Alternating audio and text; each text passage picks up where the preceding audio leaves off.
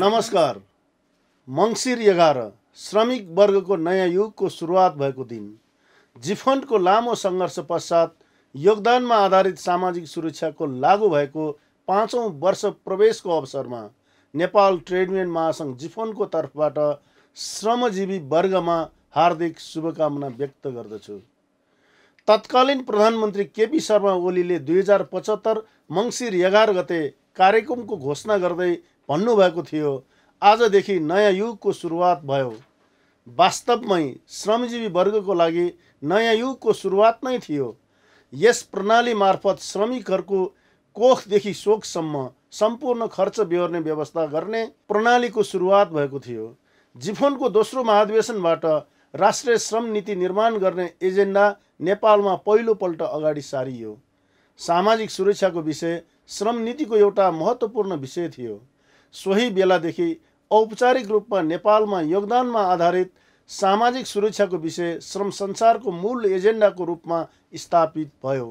हाम्रो पहल र नेतृत्वमा तत्कालीन सरकारले प्रथम राष्ट्रिय सम्मेलन दुई हजार चौन्न आयोजना गर्यो र सामाजिक सुरक्षा प्रणालीलाई राज्यले औपचारिक रूपमा स्वीकार गर्न बाध्य भयो। विभिन्न शैक्षिक सामग्री प्रकाशन र प्रशिक्षण प्रमुख स्थानमा होर्डिङ बोर्ड लाखौँ पर्चा वितरण हजारौँ टी सर्ट स्काफ जस्ता सामग्री मार्फत श्रमिकहरूमा चेतना फैलाउन जिफोन्टले देशभरिका सबै कार्यस्थलमा जागरण अभियान सञ्चालन गरेको थियो। त्यसै गरी सडक नाटक श्रम र सिर्जना रेडियो तथा टिभी कार्यक्रम मार्फत आम जनतामा जनचेतना अभिवृद्धिको कार्यक्रम हामीले गरेका थियौँ। लामो सङ्घर्षपछिको संवाद र छलफलपछि दुई हजार पचहत्तर साल मङ्सिर एघार गतेदेखि यो योजना लागू भएको छ। सुरुमा औपचारिक क्षेत्रको श्रमिकहरूबाट लागू भएको यो योजना सबै क्षेत्रमा लागू हुन बाँकी छ। केही तत्त्वहरू यसलाई असफल पार्न लागि परे तापनि हामीले सामाजिक सुरक्षालाई स्थापित गरेका छौँ। कुनै पनि क्षेत्रका श्रमिक सामाजिक सुरक्षाको दायराभन्दा बाहिर नरहुन् भन्ने मान्यताको साथ अगाडि बढेका छौँ। तसर्थ जिफन्डको आठौँ महाधिवेशनले आगामी चार वर्षभित्र बिस लाख श्रमिकलाई सामाजिक सुरक्षामा जोड्ने गरी अगाडि बढ्ने निर्णय गरेका छौँ।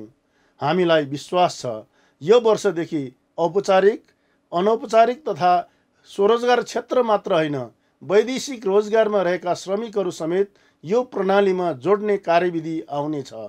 अझै पनि यो प्रणालीमा रहेका कतिपय अपुग तथा नमिल्ने बुदाहरू र कानुनमा रहेका दुविधाहरू हटाउन सम्बन्धित सरोकारवाला सबैले पहल गर्न गराउन समेत हामी माग गर्दछौँ। हाम्रो भविष्य सामाजिक सुरक्षा सहकार्य योगदान र सहभागिता भन्ने मूल नाराका साथ पाँचौँ सामाजिक सुरक्षा दिवस मनाउँदैछौँ। हाम्रो अभियान मिसन टु मिलियन अर्थात् आगामी चार वर्षमा सामाजिक सुरक्षामा बिस लाख श्रमिकलाई सहभागी गराउने अभियान सफल बनाउन सबैमा अनुरोध गर्दै पुनः एकपटक समस्त श्रमजीवी वर्गमा सामाजिक सुरक्षा दिवसको हार्दिक मङ्गलमय शुभकामना धन्यवाद।